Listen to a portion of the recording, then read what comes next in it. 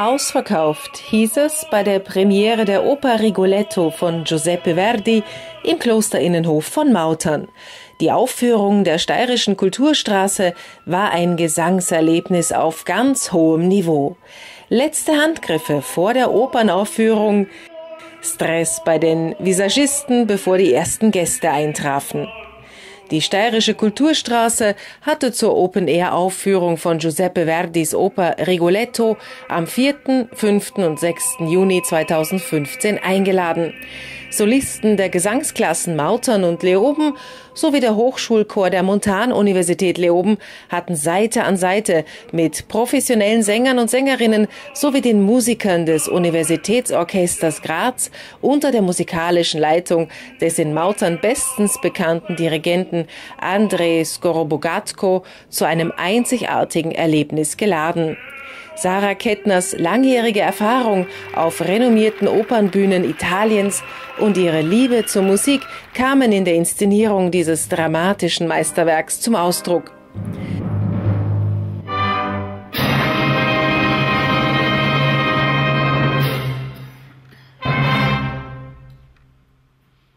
genießen Sie einige Ausschnitte, eine der am meisten gespielten italienischen Opern in der Umgebung des Innenhofs der Klosterkirche in Mautern.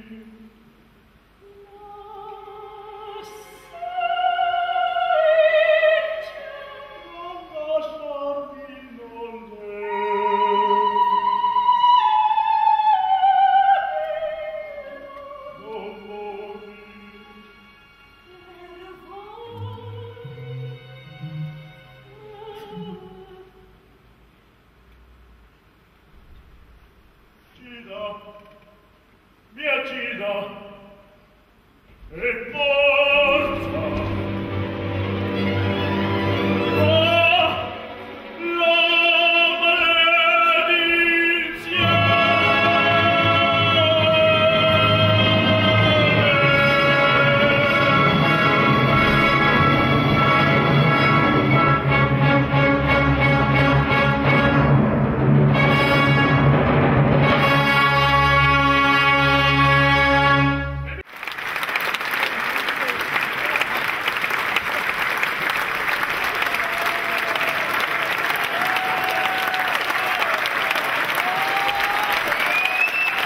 Wie groß ist der Stein, der dir vom Herzen fällt heute?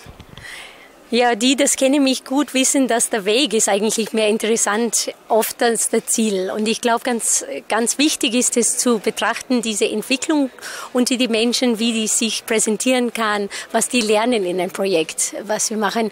Allein die soziale Aspekte, nicht nur der Virtuosität, das verlangt ist von den Stimmen. Und so, jetzt bin ich sowieso so glücklich, dass wir haben viel gelernt und viel geleistet gemeinsam. Gratulation zum gelungenen Abend. Wie lange hat es gedauert, bis so Klein Venedig da in Mautern entstanden ist? Also die Planung ist natürlich etwas, was schon lange äh, im Vorlauf ist. Äh, es hat schon letztes Jahr schon angefangen. Ähm, wir haben natürlich letztes Jahr den Vogelhändler aufgeführt und gleich darauf haben wir schon überlegt, was als nächstes kommen könnte. Und da war schon der Wunsch da, dass wir eine italienische Oper aufführen, weil wir ja immer zwischen Operette und Oper abwechseln. Und ja, also damit hat ungefähr die Planung angefangen. Dann war natürlich die Frage, was wir aufführen und welche welchen Dirigenten, welches Orchester.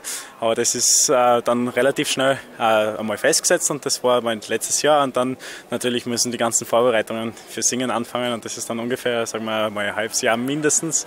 Aber es gibt viele, die arbeiten schon etwas länger dran und ja, das ist, aber es ist so ein Erlebnis und man kann es echt nicht beschreiben. Auch die, die Zeit, die man investiert, das tut man ja auch sehr gerne.